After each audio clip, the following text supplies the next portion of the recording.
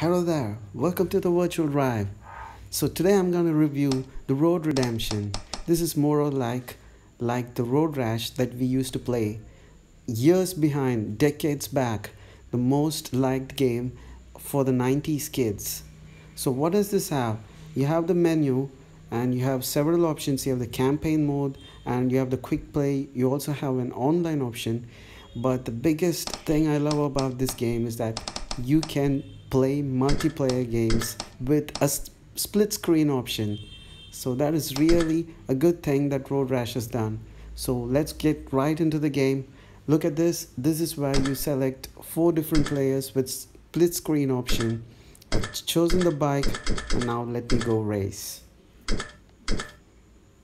One go!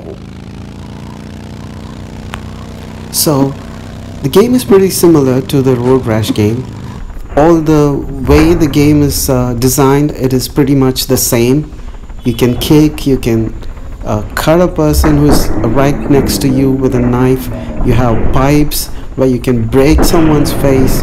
So they're all much similar to the road rash game. The graphics looks very exciting and the gameplay is very fast. You need to have good control of the keyboard to play this game effectively but just forget all that. This game is so much fun.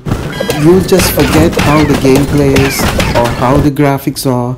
You would just forget that. Look at the graphics on how a kill is made and it's really awesome. I played the road rash when I was young and the kills weren't very exciting except for the kicks which used to be very funny. But here even the kills are pretty much very funny and really exciting. You even have the nitrous here. You can add nitrous. Even if you have left behind on the track there is an option on the menu where the game automatically brings you back to the track. Wow look at that. But one main thing to know about this game is that there are a lot of keys you need to use and have control of. You need to have control of your weapons you need to stay on the track. And if you want to make a camera movement you need to use the mouse.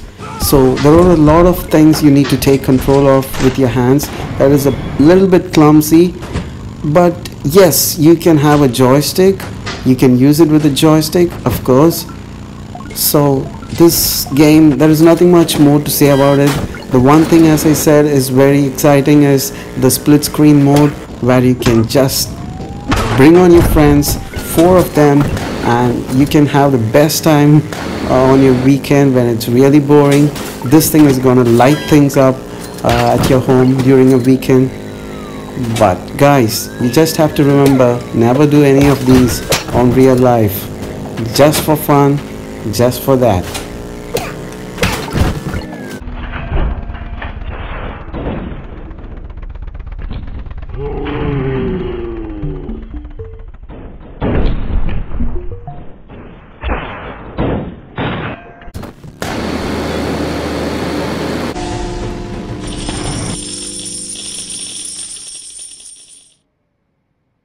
That's it guys.